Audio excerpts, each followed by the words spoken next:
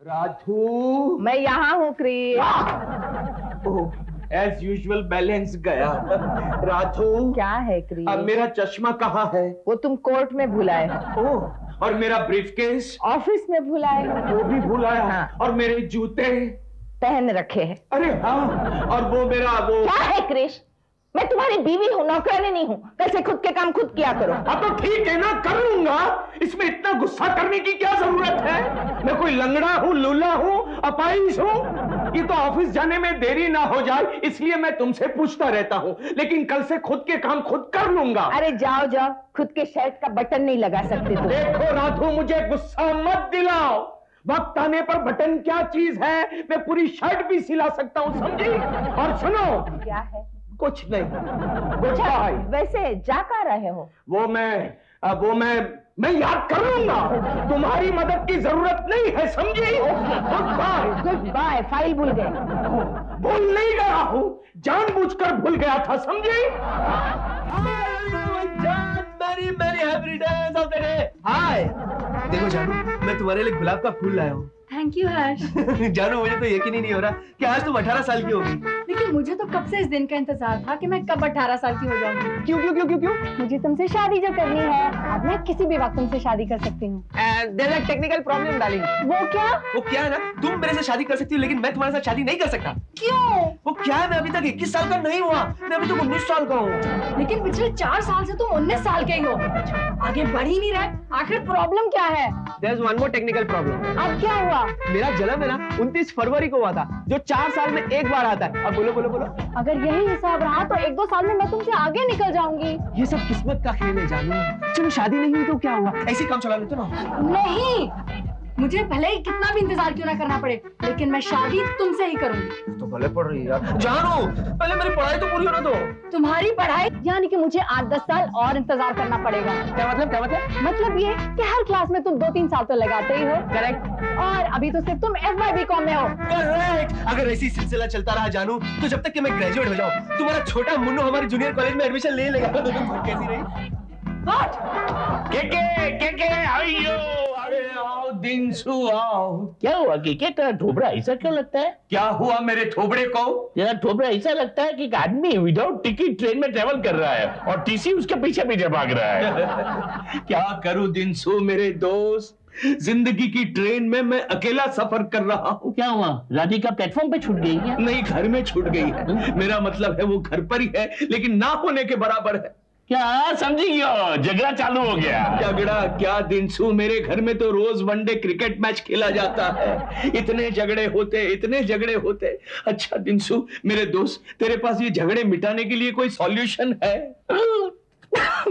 दिनसू दिनसू नहीं कुछ नहीं एक चीज़ याद रख के के, अगर मेरे पास सॉल्यूशन होता तो मेरी दूसरी बीवी मुझको छोड़कर चली नहीं जाती। ओ मतलब तू भी मेरी वाली ट्रेन में सफ़र कर रहा है मेरे दोस्त? एक मिनट एक मिनट लेकिन कंपार्टमेंट अलग अलग है हाँ, कि, कि याद रखना कि मेरी वाइफ ने मेरे साथ दस साल पहले झगड़ा करना शुरू कर दिया। झगड़ा दस साल पहले? लेकिन इतने झगड़े क्यों करती थी अरे वो कोई कारण ही नहीं। झगड़ा करना नकुड़ के का सेकंड नेचर है। सुबह से रात तक झगड़ा झगड़ा झगड़ा। अरे मैं उसके ऊपर देखूँ तो भी झगड़ा। नहीं देखो तो भी झगड़ा। अरे मैं एक सिंपल डकार करूँ ना। डकार? मैं किधर गया? एक मिनट क्या सॉलिड डकार थे हाँ, दिनसू हाँ, अब पता चला तेरी बीवी क्यों भाग गई। लेकिन दिनसू तेरी बात और है।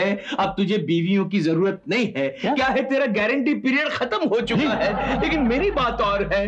क्या है दिनसू जब भी मैं प्रॉब्लम में होता हूँ तू मेरी मदद करता है। तू आज भी मेरी मदद कर। दिनसू मुझे बचा ले मुझे बचा ऑल राइट ऑल राइट मदद करूँगा लेकिन जरा मुझको सोचना पड़ेगा। क्या कह रही है भाभी आप? भैया ने आपसे झगड़ा किया? हाँ इस तरह झगड़ा कर रहा था जैसे मैं उसकी बीवी नहीं हूँ इस घर की नौकरानी हूँ। अभी क्या आप भी भैया की बात का बुरा मान जाती है? अरे भैया का गुस्सा तो बच्चों जैसा होता है। अब तक तो भूल भी गए होंगे कि उन्होंने आपसे झगड़ा किया है। हाँ देखिएगा आते ही आपको पुकारेंगे। राधू देखा ये भुलक्कड़ लोग कितने सुखी होते हैं। हाँ लेकिन हमें दुखी बना देते हैं। राधू राहुल कह दो अपने भैया से कि वो ये भूल रहे हैं कि वो मुझसे बात नहीं करने वाले। ठीक है ठीक है। Excuse me yes mister Krishnakant Desai यही रहते हैं? मिस्टर कृष्णकांत हाँ, भैया आप सोचिए मत हमने जवाब दे दिया। ओ यस मैं ही हूँ बोलिए। बोलिए क्या काम है बोलिए। जी मैं एडवोकेट गुप्ता। आपके पिताजी के चचेरे भाई चिमनलाल देसाई का वकील। चिमनलाल देसाई यानी तुम्हारे चाचा जी। हाँ चिमू चाचा। जी हाँ उनकी डेथ हो चुकी है। ओहो। ओ चिमन गया। और वो अपने पीछे करोड़ों की जायदाद छोड़कर गए हैं। राहुल डोंट ओवर रिएक्ट चाचा को चाचा! ठीक है ठीक है। बताइए बैठिए। हाँ, बस। थैंक यू बस भैया।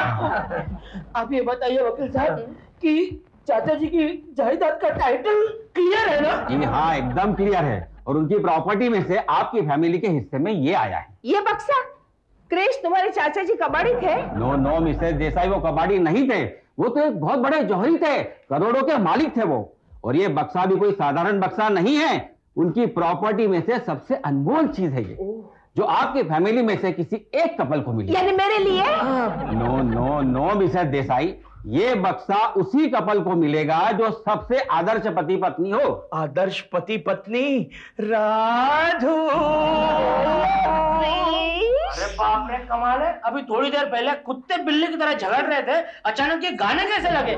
वकील साहब ये दोनों आपको बना रहे हैं। देखिए मुझे कोई बना नहीं सकता क्योंकि आदर्श पति पत्नी कौन है इसका फैसला मैं करूँगा। वो कैसे? आपके साथ इस घर में सात दिन रहूँगा हर कपल को गौर से देखूँगा और फिर मैं यह फैसला करूँगा कि आदर्श पति पत्नी कौन है। चाचा जी!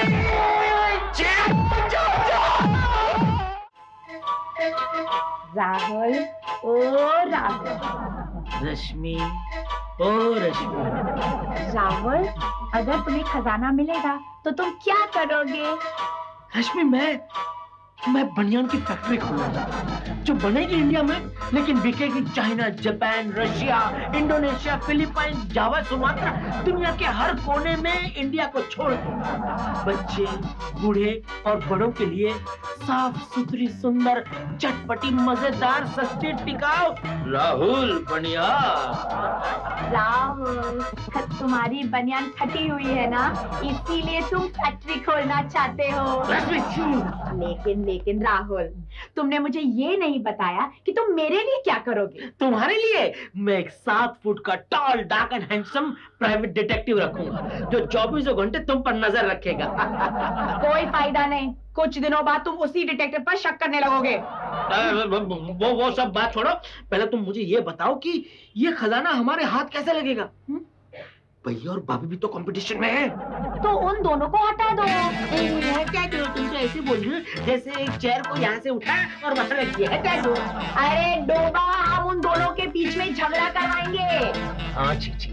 ये तो मैं अच्छी तरह से जानता हूँ कि तुम लोग ये खजाना हमारे हाथ इतनी आसानी से आने नहीं दोगे। देखो भैया को ताश खेलने का शौक है लेकिन भाभी को ताश से सख्त नफरत है। वेरी गुड दोनों को आमने सामने ताश खेलने बिठा देंगे। ऑपोजिट ऑपोजिट जगह जगह मैं बोल रही हूँ ना तुम चुप रहो। और भैया कभी कभी सिगरेट भी पीते हैं। आई नो काला हाथी। और तुम्हें तो पता है कि सिगरेट का धुआँ देखकर भाभी के दिमाग में तो आग लग जाती है। हाँ लेकिन ये सब का ये खजाने से क्या ताल्लुक? ताल्लुक क्या? नहीं, मैं जानती हूँ। राहुल तुम एक कंफर्म्ड इंजीनियर हो confirm hundred percent of course नहीं कभी कभी मुझे शक होता है कि तुमने ये डिग्री खरीद कर तो नहीं ली। रश्मि तुम मुझे ये बताओ कि ये सिगरेट और ताश का क्या चक्कर है? ओ गॉड राहुल हम भैया को मजबूर करेंगे सिगरेट पीने के लिए ताश खेलने के लिए। भाभी देखेगी झगड़ा हो जाएगा एंड फिनिश अब मैं भी देखता हूँ कि तुम लोग झगड़े के बगैर कैसे रहते हो। खेल मेरे भाई खेल। आज तेरे सामने तकदीर का बादशाह बैठा है। ओके।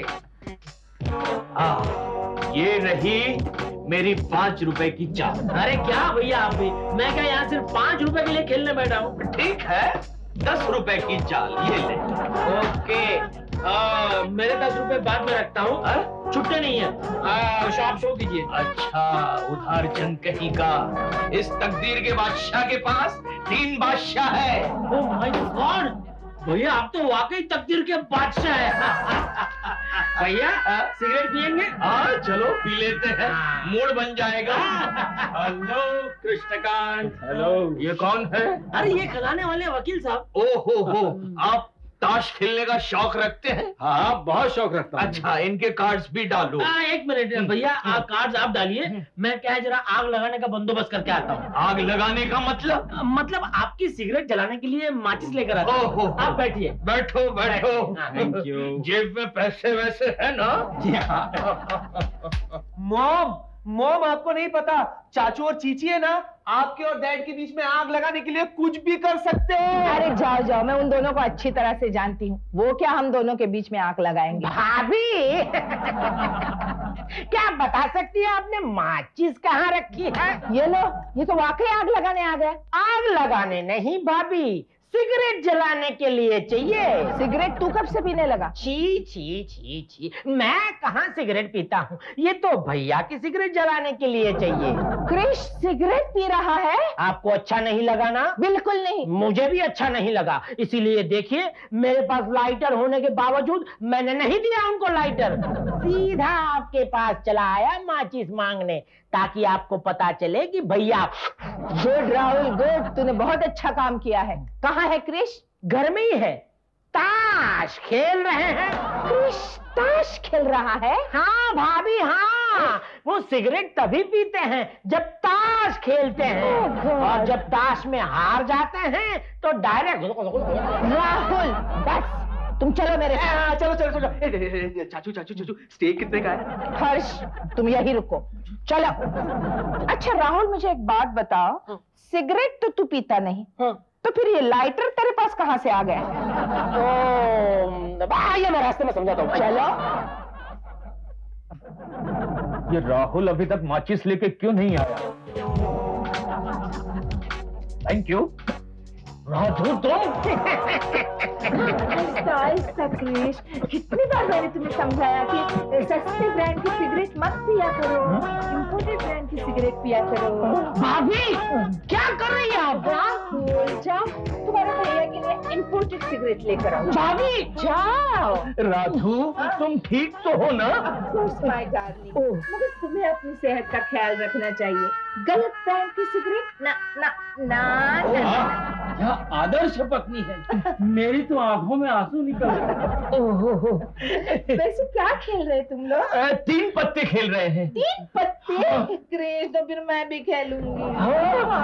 अब कुछ नहीं बोलोगे? अरे अब क्या बोलूँ? अब तो मैं इमोशनली हो गया हूँ। और ये सारे पैसे मेरे हो गए। कुछ काम के नहीं हो। मुझे तो लगता है कि वो खजाना भैया और भाभी को ज़रूर मिलेगा। तुम इतनी ऊँची आवाज़ में क्यों बात कर रही हो? What do you mean ऊँची आवाज़? This is my normal voice अरे ऐसा लग रहा है तुम मुझसे झगड़ रही हो। Oh sorry sorry Rahul. देखो रवीना जैसा मैंने कहा ना तुम वैसे ही करना और अगर ये काम तुम ठीक कर पाओगी ना तो इस घर में दुल्हन बन के आओगी वरी हर्ष। मैं तुम्हारे चाचा और चीची के बीच में ऐसी चिंगारी लगाऊँगी कि वो फ़र्स्ट और सेकंड वर्ल्ड वॉर भूल जाएँगे। वेरी गुड मुझे तुमसे ये उम्मीद थी। जाओ भिड़ जाओ। Stop that noise. Stop that noise, Rahul. Better better hi Rahul Rahul ये भारी आइटम कौन है? मुझे क्या पता? राहुल तुम भूल गए। I am Demi your girlfriend from Japan Japan से गर्लफ्रेंड राहुल तुम ये भी भूल गए। हम लोग टोक्यो में मिले थे और तुम्हें मुझसे लव एट फ़र्स्ट साइट हो गया था। आई स्वेयर रश्मि मेरी साइड में वहाँ एक भी लड़की नहीं आई थी। राहुल ये डेमी कौन है? ये एक लड़की है। लेकिन ये कौन है? ये भी एक लड़की है। हाँ, लेकिन ये मेरी वाइफ है रश्मि ये तुमने क्या किया? तुमने तो कहा था कि तुम मुझसे शादी करोगे। तुमने मुझे ये रिंग भी पहनाई थी। हाँ? एक मिनट एक सेकंड तुम ओके तुम जितने भोले लगते हो ना राहुल के बच्चे तुम हो नहीं। जब तक तुम मुझे इस डेमी के बारे में सच सच नहीं बताते मैं तुमसे बात नहीं करने वाली। अरे लेकिन सच बताने का मौका तो दो रश्मि राहुल। हाय भाभी। ओहो ये तुम्हारी कोई नई दोस्त है? हाँ हाँ शायद। नहीं नहीं मैं राहुल की दोस्त नहीं मैं राहुल ऐश, आगे कुछ मत बोलना। मैं तुम्हें मुंबई दर्शन करवा के आता हूँ चलो। तुम्हें वो प्रॉमिस याद है ना? प्रॉमिस हाँ सब कुछ याद है चलो चलो।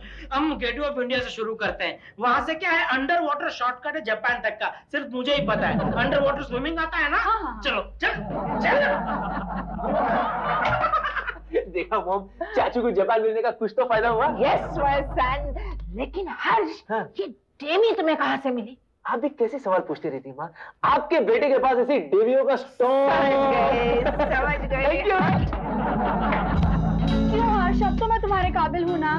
वो सब तो ठीक है लेकिन अभी तक कोई सेंसेशनल ड्रामा नहीं हुआ है। जानू मेरे चाचू और चीची ना आपस में झगड़ तो रहे लेकिन तुम कुछ ऐसा करो जिससे कि वो वकील के सामने भी झगड़े।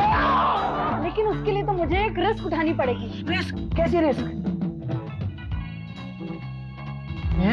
पागल हो गई क्या? अगर तुम मेरे चाचू के साथ ऐसे करेंगे ना तो बेचारे सुसाइड कर देंगे ना सुसाइड मैं नहीं तू करेगा हर्ष का बच्चा देखा रश्मि हमारे खानदान में एक से बढ़कर एक कैसे कैसे विलन पैदा हुए हैं? ये तो हमारी शादी की बर्बादी पर तुला हुआ है। अब मैं इस डेमी को नहीं छोड़ूँगी। वेरी गुड जाओ रश्मि, जाओ। उसे तहस नहस कर दो। काफ़ी दिन हो गए। मैंने फ्री स्टाइल लेडीज़ कुश्ती नहीं देखी है। लाइव लाइव जाओ। जाओ वेरी गुड ये अरे बहुत अच्छा है। जानू तू ऐसे कर ऐसे कर। तुझे नहीं मालूम मेरी चीची है ना जलकुकड़ी नंबर वन है। अगर तू चाचू के साथ ऐसे करेंगे ना तो बहुत जलेगी रे बहुत जलेगी। हर्ष। ये जलेगी वो कहाँ से आ रही है? हर्ष। हाय। क्यों? मैं जल कुकड़ी हूँ। ना, ना, ना, ना, मेरा मतलब वो नहीं। था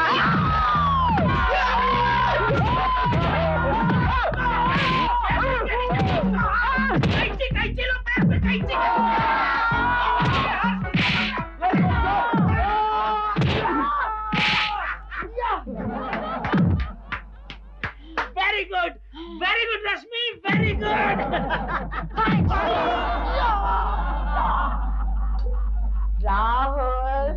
मैंने पता लगाया है कि उस वकील को गुलाब जामुन बहुत पसंद है।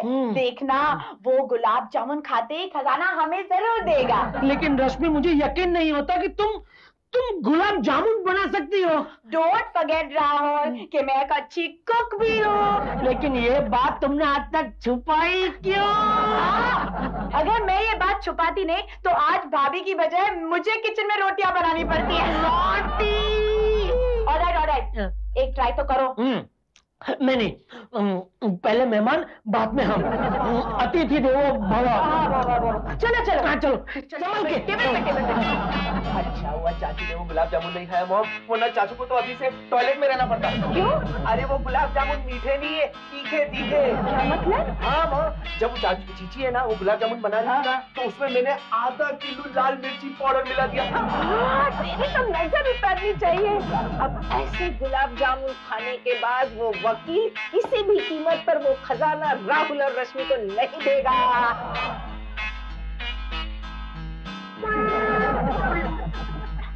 कैसे बने हैं गुलाब जामुन?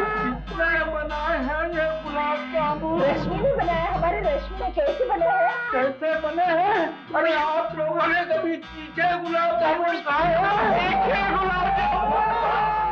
इस घर में पानी नहीं है।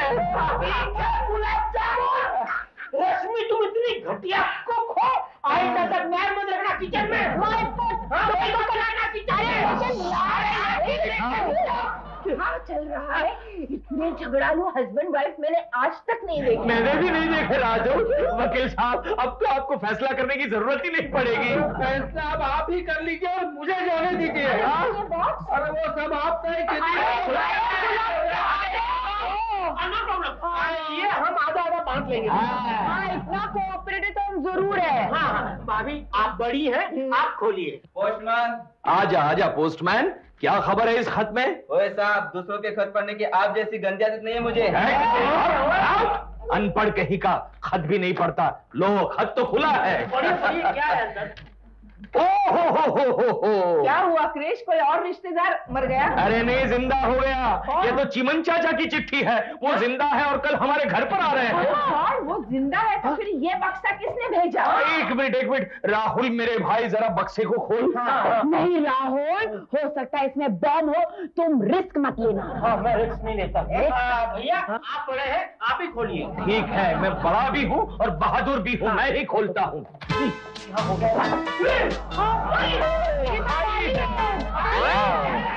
ये ये घटिया मज़ाक हम लोगों के साथ किसने किया होगा? किसने किया? मैंने किया। दिलशु भाई आपने ऐसा क्यों किया? अरे तुम्हारा केके ने हमको बोला था कि भाई डिंचो हमारा घर में झगड़ा बहुत होता है। कुछ ऐसा आइडिया निकालो कि जिसकी वजह से घर में शांति हो जाएगा।